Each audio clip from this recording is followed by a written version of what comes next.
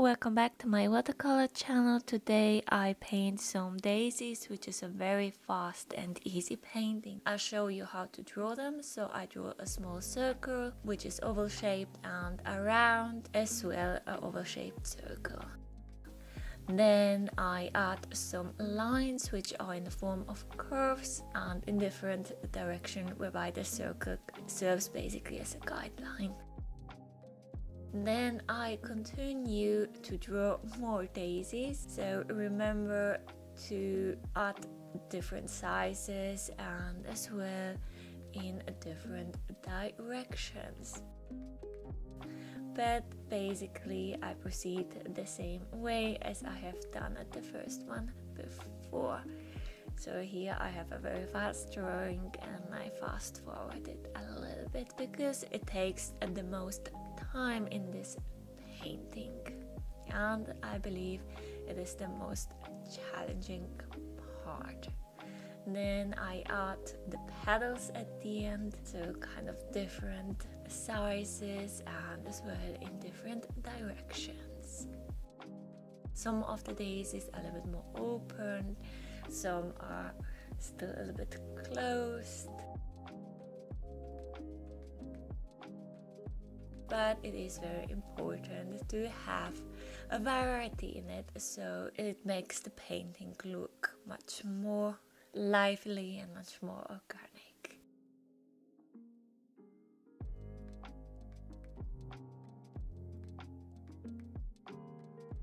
Here some more of those flowers, more closed daisies and more petals, but not too many so that the painting doesn't look too overcrowded. Then I erase the guidelines and then I put some masking fluid at the flowers as they are supposed to remain quite white. Uh, the colors that I use are orange, which is mixed out of deep yellow and rose madder, as well as some purple, which is out of phthalo blue and rose madder and then I used phthalo blue and lemon yellow to make some greenish colors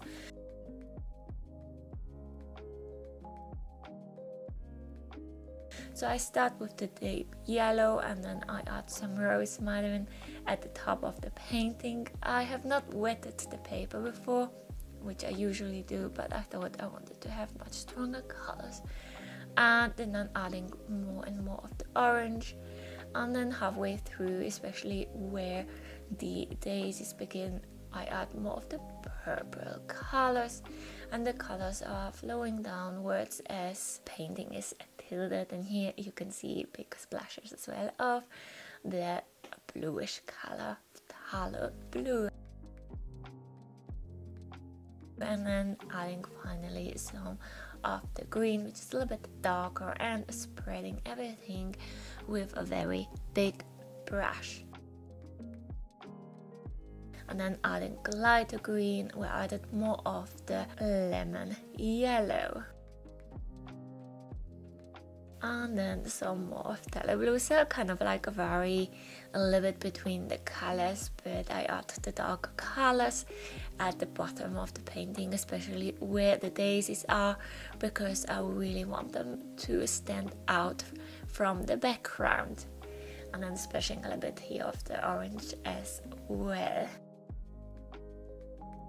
uh, the paper is still quite wet but if there are some of the water stains it really does not matter because it's more of abstract then adding more of those stems for the flowers I just use with some light brush strokes so not putting that much effort and here and there as well in different directions as it would be in nature.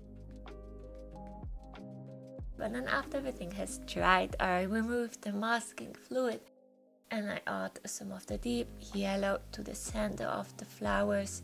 So here and then a little bit at the bottom and then more here as well.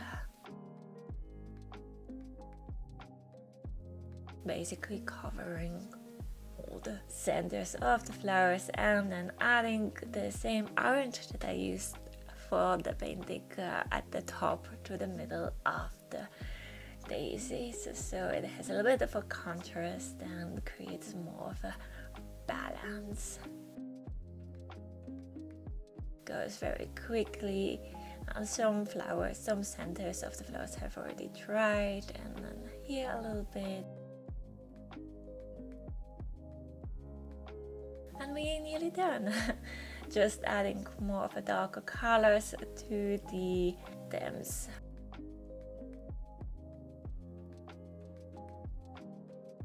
as well as a little bit more stronger grass which is a little bit sharper and to have a contrast to the background. So not everything is very blurry and then really emphasizing the whiteness of the daisies so the queen is basically just phthalo blue and some lemon yellow.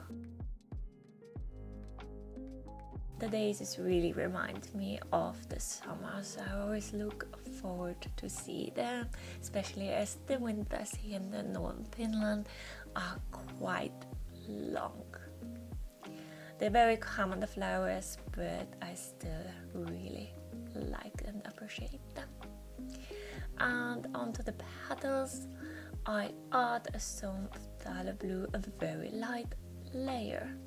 So just to emphasize a little bit the different petals, but not too much. That's basically the last step.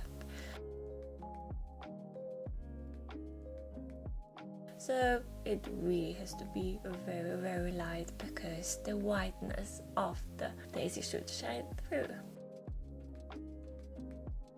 Okay, now we're done. Thank you for watching and hope you enjoyed it. Remember to subscribe. Bye!